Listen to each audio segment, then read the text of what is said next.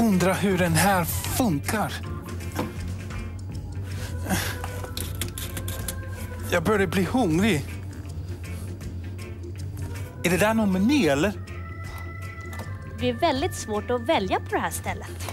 Ja, men jag vill ju ha den där splatt! Men Glenn, jag tror du måste ha såna här arketurkiska dollar om du ska få någonting ut ur den här maskinen. Det går inte så bra för oss, va? Vi har inte kommit fram till någonting. Den här surtanten där borta, hon vet inte vem Ulla är och nu har vi blivit inlåsta. Vad är det hon håller på med? Hon håller väl på att räkna pengar eller något.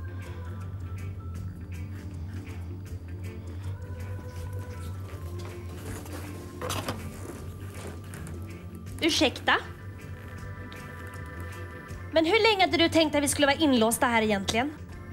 Tills jag fått mina pengar. Kan du blåsa av kod röd? Jag upprepar, blåsa av. Ah, ah, ah, ah. Haha, så där går det när man luktar för mycket i slangarna.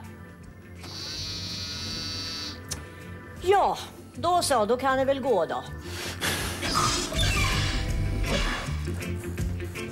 Välkommen tillbaka brukar man säga där jag kommer ifrån. Kom nu Glenn! Jag har sett honom. Va? Ja, ni frågar ju ifall jag sett henne. Men inte ifall jag sett honom. Han på bilden. P.O.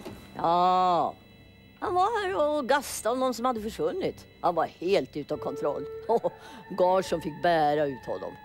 Vadå, vad sa han för någonting? Ja, att uh, hon, hon nu... Ulla. Ulla hade försvunnit här på macken. Men eh, det är omöjligt. Vadå, varför skulle det vara omöjligt? Här försvinner inget. Här finns bara jag och Garsson. Men vad tror du kan ha hänt då? Ja, säg det. Vänta! Var det något annat skepp här samtidigt som Pios? Ah, jag minns kanske. Vadå kanske? Men vi har ju inga pengar har vi ju sagt. Synd för er då. Nej, nej men vänta!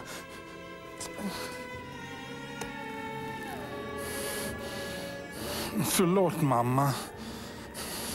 Vadå, ska du ge bort din mammas kedja? Har du något bättre förslag? Nej! Ditt hårspänne kanske? Kedjan. Bra, kör med kedjan. Kör hårt!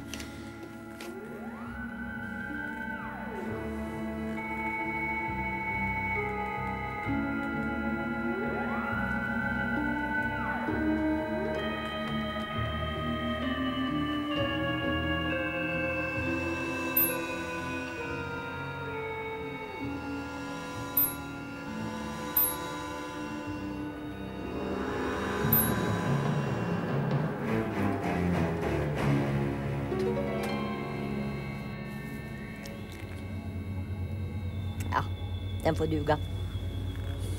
Ja, det var ett litet skepp pilgrimer från Orion här samtidigt. Pilgrimer? Vart skulle de då?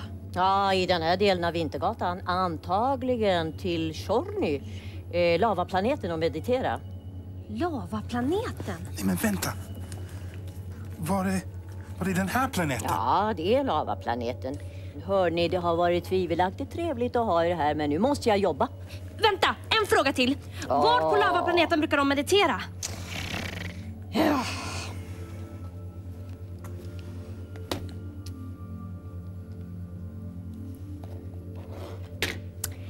Det här är Tjorny.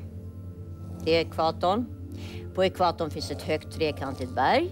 Vid bergets fot finns en liten vulkankrater och i kratern finns ett tempel och i templet brukar pilgrimerna samlas. Och det är all information ni får för ett halsband. Ser ni dörren?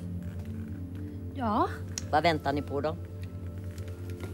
Come on Mira, innan hon låser in oss igen.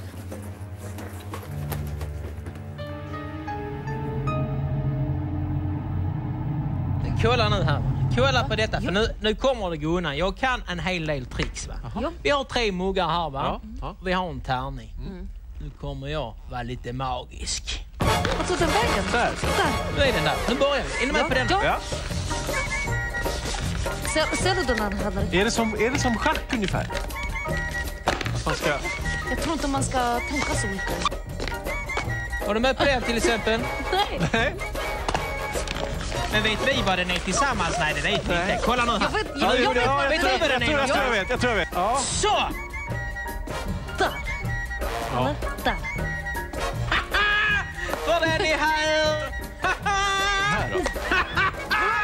Var är den någonstans? Är den där? Ja, det var den. Ja, yes. Håll upp med sånt. Koncentrera dig för det gör jag nämligen. Jag är så koncentrerad så att jag blir helt mörkrädd. Ja, för att jag... Ja, ja, men du får, du får ta. Jag tror att det är... Ja, ursäkta Lina, jag lutar mer att den är här. Jaha. Nej, Nej, ja, då är den där?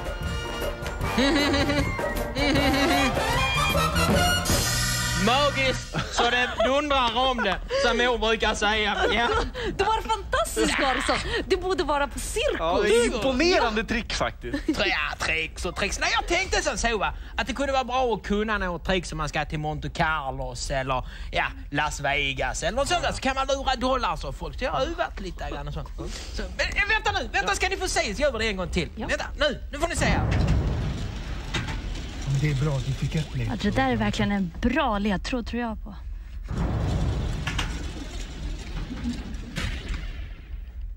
Garsson! Ja, nu kommer ni. Då ska väl inte jag sitta kvar här och gaffla bort hela dagen. Massa jobb att göra, men tack ska ni ha i alla fall. Det var roligt detta. Vad är det som händer med honom? Vad gör han för någonting? Han har fått i halsen.